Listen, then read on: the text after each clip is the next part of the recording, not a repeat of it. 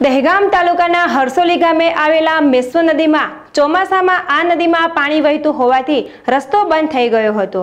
રસ્તો બંધ થવાથી પંદર ગામોના ગ્રામજનો તેમજ વાહન ચાલકોને ભારે મુશ્કેલીનો સામનો કરવો પડ્યો હતો.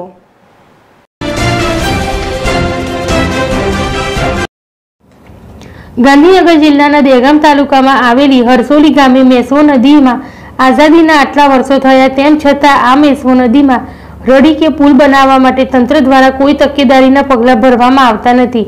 એટલે પંદર ગામોના ગ્રામજનો હાલમાં ચોમાસાની ઋતુમાં મેસવો નદીમાં પાણી આવતા ભારે હાલાકીનો સામનો કરી રહ્યા છે.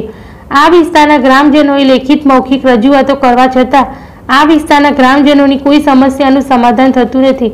તેથી આ ગામોના ગ્રામજનોએ દહેગામ અને ગાંધીનગર જવા માટે મેસવો નદીમાં થઈને પસાર થવાનું થાય છે.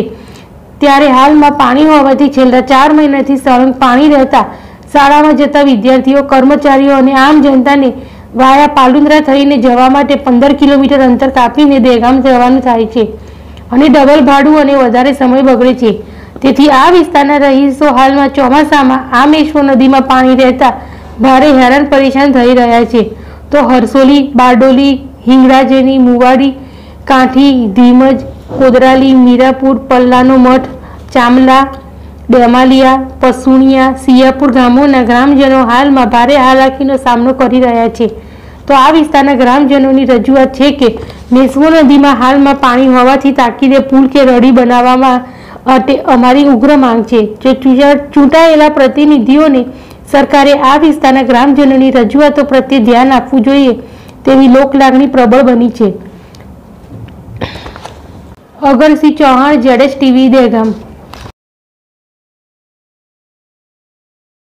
જવાના માર્ગમાં ઘણા વાહનો પરેશાન પબ્લિક પરેશાન થઈ રહી છે તો પુલ બનાવવા બાબતે આપ સર્વને જાણ કરીએ છીએ એવી અમારી નમ્ર વિનંતી કે કેટલા સમયથી આ સમય છે લગભગ